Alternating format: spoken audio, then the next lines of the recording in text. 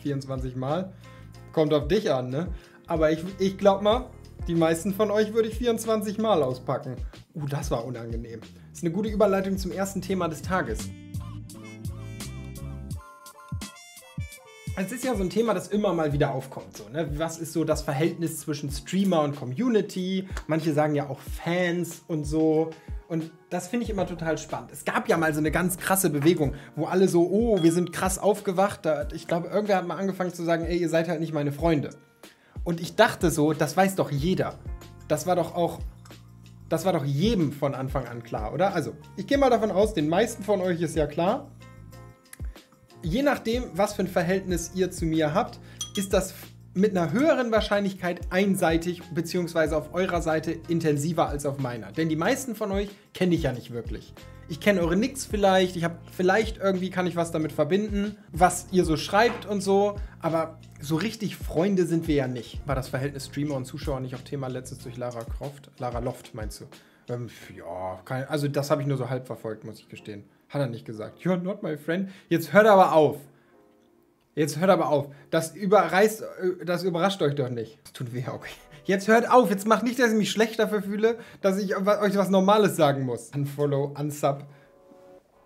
Ich muss sagen, also, wenn ihr hier nur gesubbt oder gefollowt habt, weil ihr denkt, dass wir Freunde werden dadurch, dann ist es auch, glaube ich, wirklich besser, wenn ihr das macht.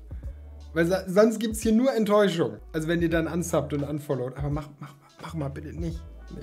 So, ich glaube, wichtig ist, dieses, das Ding ab und zu mal so ein bisschen zu besprechen.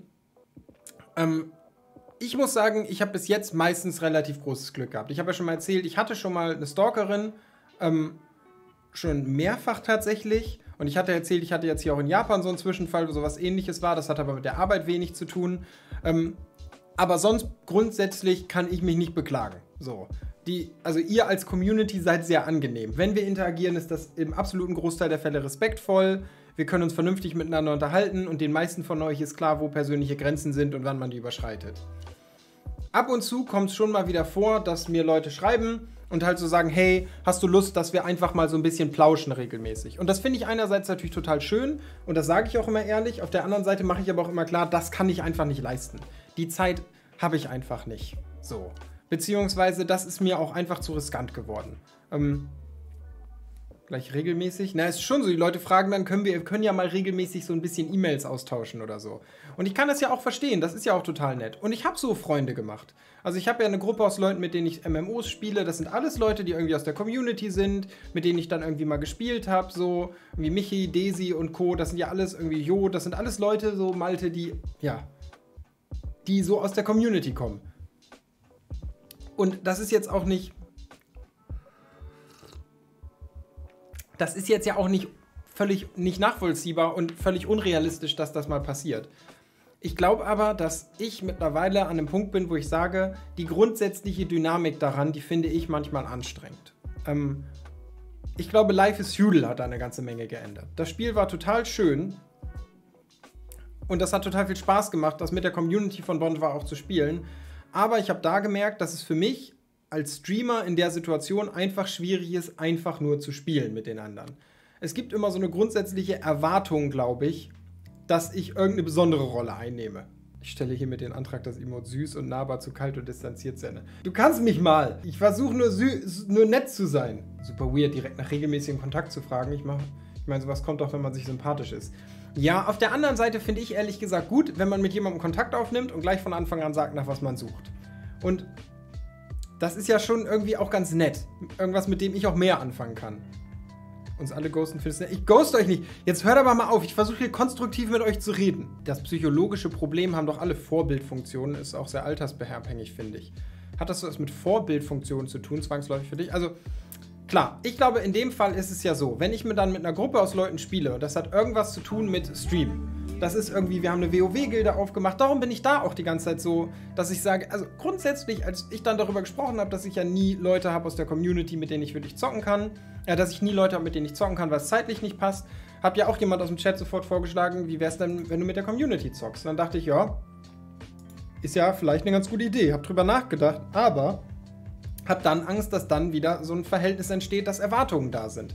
Und es kann halt sein, dass ich mal vier Tage am Stück jeden Tag zwei, drei, vier Stunden WoW spiele und dann bin ich aber halt auf einmal auch wieder weg. Dann habe ich andere Sachen zu tun und so und dann steht diese Gilde da und verhungert so vor sich hin. Und das finde ich halt immer total schade. Und ich glaube, das ist für mich genau die Trennung aus professionell und beruflich, die ich so brauche. Manchmal habe ich total viel Lust mit der Community zu spielen und finde das absolut großartig. Aber es gibt auch Punkte, wo ich einfach privat zocken möchte. Mit jedem Einzelnen wirst du Schluss machen können, aber nicht mit dem Chat. Oh Gott. Die Gilde kann doch auch ohne dich existieren und du bist einfach da, wenn du Zeit hast. Also, in der, in der Theorie funktioniert das auch immer, aber das ist dann meistens eben nicht so. Wenn ich Hawkins Strangle sehe, mache ich einen platt. Ja, pff was spielst denn du? Wahrscheinlich ein Hexenmeister. Und dann sich auf die Brust trommeln, weil man im Stunlock irgendwen totgekriegt hat. Die allerliebsten sind Schurken, die von PvP reden. Man, Schurke spielen ist WoW im Easy Mode starten, wenn es um PvP geht. Ich kill dich mit dem Heal Shami. Ich, ich kill dich mit dem Ruhestein. Ich main Ruhestein. So, ich glaube, wichtig ist, worüber ich eigentlich reden will. Ähm, dass wir haben, nach meiner Einschätzung zumindest, ein verhältnismäßig gesundes gesundes Verhältnis. Was, was, wir haben ein gesundes Verhältnis. Ich habe nicht das Gefühl, dass in der breiten Masse bei euch Leute dabei sind, die irgendwie fehleinschätzen, wie unser Verhältnis zueinander ist. Auf der anderen Seite ist natürlich eine Frage, die man immer sich mal so ein bisschen stellen muss. Und hier werfe ich mal was in den Raum, das immer so, hm, bei dem ich schwer sagen kann, ist das wahr, aber das zumindest immer wieder kommt. Und ich glaube, das ist eine Diskussion, die aufkommt. Lara wurde ja auch oft genannt bei weiblichen Streamern wird dieser Punkt ja oft gebracht. Die hätten nur so viele Subs, weil sie halt Frauen sind und das wären alles Sims, Leute, die halt irgendwie den nach, ja, was soll man, nachstellen. Nachstellen klingt so negativ und so. Ist ja auch so. Ehrlich gesagt weiß ich nicht, ob man sich da nicht ein bisschen zu einfach macht. Ich glaube, grundsätzlich ist es ja so, dass es Leute gibt, die Streams verfolgen oder subben wegen der Personality. Das ist ja häufig so. Ein großer Teil von euch wird mich ja als Person wahrscheinlich erkennen. Und ihr macht diesen Stream an, weil ihr euch meine Meinung anhört. So. Das heißt, ihr macht das nicht. Ihr, für euch bin ich jetzt nicht ein Star oder so, aber ihr guckt ja schon einen Stream, bei dem eigentlich nur ich vor der Kamera sitze. Wir haben also eine gewisse. Ja. Irgendwas ist bindungstechnisch offensichtlich da. Ich bin zumindest so interessant, dass du mir jetzt gerade zugucken willst oder zuhören. So, das würde ja niemand Simp nennen. Da haben wir auch schon mal drüber geredet, warum ich den Begriff halt so eklig finde. Aber jetzt gibt es ja Leute, die sagen, dass es bei weiblichen Streamerinnen ist das mehr so, weil dann so viele Männer auf Twitch sind, die halt sich da was erhoffen davon, wenn sie dann eine Donation machen oder die Aufmerksamkeit kriegen. Und ich glaube, einerseits nehmen wir mal an, das wäre wahr. Dann ist das ja ein ziemliches Dilemma für die weiblichen Streamer. Denn ich habe hier irgendwas an der Lippe. Deswegen hantiere ich heute die ganze Zeit rum. Innen. Ich glaube, das Schwierige daran ist dann, dass grundsätzlich, sollte dem so sein, müsstest du ja die ganze Zeit immer übervorsichtig sein. Du musst ja bei jedem Donation musst du dich fragen, hm, ist das jetzt zu viel? Ist das jetzt meine Verantwortung? Und da kommen wir zu einem Punkt, den ich schon mal gebracht habe. Ich komme einfach mit meinem Denkanstoß nicht an einen Punkt, wo die Verantwortlichkeit kategorisch bei der Person vor der Kamera liegt. Das ist mir jetzt, das ist für mich nicht nachvollziehbar. Ich glaube, wenn man falsche Dinge suggeriert, wenn ich mich jetzt hier hinsetzen würde und sagen, ah, wer jetzt 5 Euro donatet, der darf eine Woche bei mir in Japan wohnen und wir hängen den ganzen Tag rum und dann mache ich das nicht. Oder alle, die mit 20 Euro donaten, sind meine super besten Freunde und wir machen eine WhatsApp-Gruppe auf, weil wir so gute Freunde sind. So. Aber das passiert ja nicht. Und das passiert ja bei 99% der Streamerinnen und Streamer auch nicht. Wie wär's mit Snapchat? Benutzt noch jemand Snapchat? Viele Streamerinnen bieten private Snaps an. Ich würde erstmal viele, hm, und ich würde sagen, ich, die Grenze, das entscheidet man ja auch selber. Ich würde sagen, also auch nur meine Meinung, wenn dir jemand anbietet, dir für 10 Euro im Monat Nacktbilder von sich zu zeigen, heißt es trotzdem nicht, dass, das, dass du irgendein Anrecht auf einen engeren persönlichen Kontakt zu dieser Person hast. Die schuldet dir trotzdem nichts, die Person. Die hat dir einfach nur Nacktbilder von sich verkauft. Und das ist halt mein Punkt. Also ich glaube, insgesamt ist es natürlich, habe ich das Gefühl, in der Just Chatting-Rubrik ist es einfacher, in so ein eigenartiges Verhältnis zu kommen. Hast du OnlyFans? Nee, habe ich nicht. Meine Freunde bezahle ich auch nicht dafür, dass sie mit mir abhängen. Oh, weiß ich, ja, du investierst natürlich schon, nur nicht Geld. Also, ich habe einen ganz spannenden Artikel von der Ewigkeit leider gelesen. Ich weiß nicht mehr genau, wo das war. Aber da ging es eben darum, dass unser gesellschaftlicher Wandel aktuell Interaktionen mit Personen zu einem Produkt macht. Ein Produkt, das ich erwerben kann. Und das ist nicht nur insgesamt so, sondern auch was Sexualität betrifft. Und weil wir das Thema gerade hatten. Aber insgesamt wird Interaktion mit einzelnen Personen und Freundschaft sowas, das sich anfühlt wie ein Gut. Ich kann Twitch anmachen und bei jemandem sitzen und kriege dadurch einen ganzen Anteil sozialer Interaktion, die ich in einem gewissen Maße als befriedigend empfinde wahrscheinlich. Ich kann zum Beispiel sagen, und das meine ich überhaupt nicht so traurig, wie das klingen könnte, wenn ich Twitch anmache und bei Twitch einen Stream gucke und dann im Chat bin und mit Leuten interagiere, fühle ich mich weniger einsam auf jeden Fall. Also gerade so in der Corona-Zeit, das ist halt soziale Interaktion. Und wenn ich mit, einem, mit einer Person vor der Kamera interagieren kann, fühlt sich das noch besser an. Das ist eine noch bessere Form von sozialer Interaktion. Hatte ich so das Gefühl für mich. Aber das mag jetzt auch nur bei mir so sein. Das ist halt das Prinzip von Friends on Demand, parasoziale Interaktion. Parasoziale Interaktion, muss ich sagen, habe ich ehrlich gesagt noch nie gehört. Friends on Demand habe ich schon mal gehört, aber Fiji Water hat einen ganz spannenden Punkt. Ähm, wir kommen aber gleich zum Allgemeineren zurück ja, die schuldet dir nichts, aber solche Menschen können manche subtile, schrägstrich sehr offensichtliche Signale oder Äußerungen schlicht nicht verstehen oder wollen es nicht und rechtfertigen ihre Einstellung durch eine vermeintlich besondere und außergewöhnliche, in Klammern parasoziale Beziehung. Ah, das meint es damit. Für diese Person sind parasoziale Beziehungen eben nicht einseitig, sondern beidseitig. Nach ihrer Wahrnehmung. Geht auch mit Narzissen einher natürlich. Ja, also insgesamt ist das ja sowieso was Gefährliches. Wenn man eine Beziehung eingeht, bei der man irgendwie, bei der die andere Seite einem sagt, so ist es nicht und man ist aber fest davon überzeugt, dass irgendwas so ist. Naja, aber mal zurück zum Allgemeinen, weil wir wollen uns jetzt gar nicht an, diesem, an diesem, dieser kleinen Nische des Themenbereichs festbeißen. Worum es mir eigentlich geht, ist, dass ich, glaube ich, wichtig finde, dass man immer mal wieder auf beiden Seiten hinterfragt, was verspreche ich mir hier davon und ist das völlig normal? Und ich glaube, 99,9% von euch versprechen sich gar nichts. Die kommen hierher und wollen einfach nur unterhalten werden. Und das ist der absolute Idealfall. Das ist der Traum. Besser könnte es nicht funktionieren, denn es ist genau das, was nach meiner Vorstellung hier passiert. Und ich glaube, dass das was ist, mit dem ich wenig zu kämpfen habe. Und ich glaube, die meisten, die meisten Leute, die Streams machen oder Streams gucken, haben eine relativ gesunde Einstellung dazu. So. So sieht's aus. Nebenbei mein Müsli essen. Ich habe oh, hab Kirschmarmelade. Oh, oh das erzähle ich gleich. Ich habe Karamell selber gemacht und ich habe Kirschmarmelade gegessen. Mm.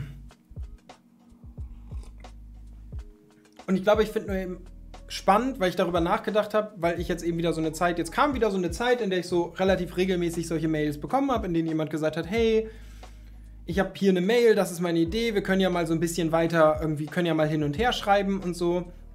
Und mal ein Lob an diese Personen die waren alle sehr, sehr ehrlich. Wenn ich dann zum Beispiel gefragt habe, ist deine Intention, dass wir irgendwie, dass das ein Flirt werden könnte oder ähnliches, haben die Leute alle ehrlich, wenn es denn so war, haben die ehrlich gesagt, ja, das ist meine Intention. Und dann konnte ich sagen, du habe ich kein Interesse dran, aber danke dir. Und alle haben respektvoll reagiert. Ich glaube, eine Person war dabei, die hat dann weiter Mails geschrieben, aber dann habe ich auch, ach, ich glaube, ich habe da nur noch zurückgeschrieben, es tut mir total leid, aber ich werde ab jetzt halt nicht mehr antworten.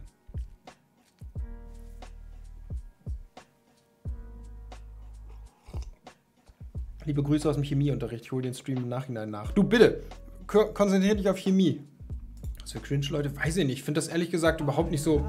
Ich finde das ziemlich normal. Also, ich sag's mal, wie es ist. Wenn man jemanden respektvoll anspricht und einfach sagt, hey, hier ist, was ich mir davon verspreche, hier ist meine Vorstellung, hast du daran Interesse? Und die andere Seite sagt, nee, habe ich nicht, dann hat eine normale Interaktion stattgefunden, an der ich nichts schlimm finde. Wenn man nicht über eine Grenze gegangen ist und ehrlich am Anfang, also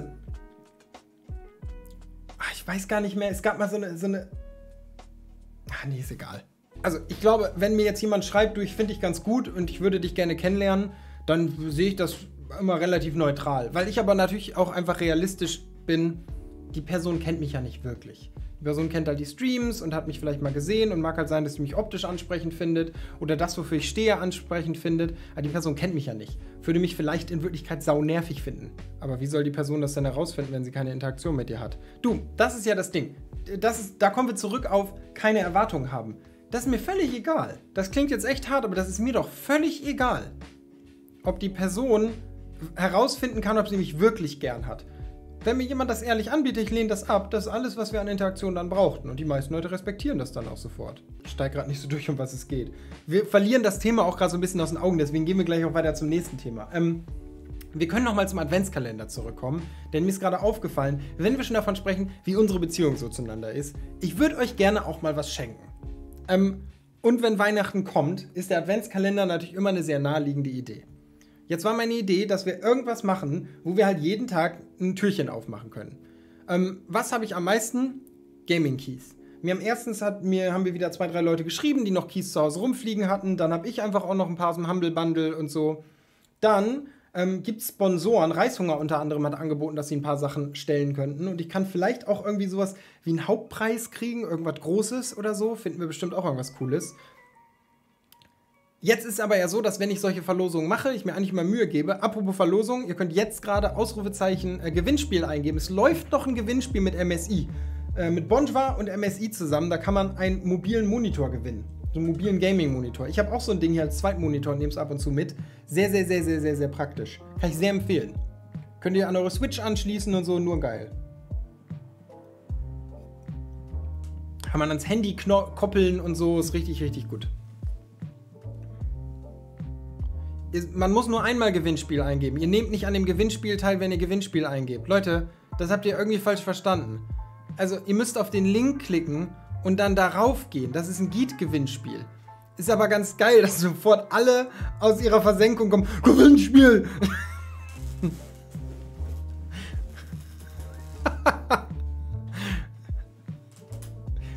Klassischer Twitch-Chat. Genau, ihr müsst auf den Link gehen, das ist ein Geet-Link und da könnt ihr dann teilnehmen. Ausrufezeichen Claim Epic Loot. ich habe erst gar nicht gerafft, hä, warum? Ach so, weil man das aus, ich meine, man kennt das aus dem Twitch-Chat ja auch so, dass man irgendwie Ausrufezeichen Raffle eingeben muss oder so.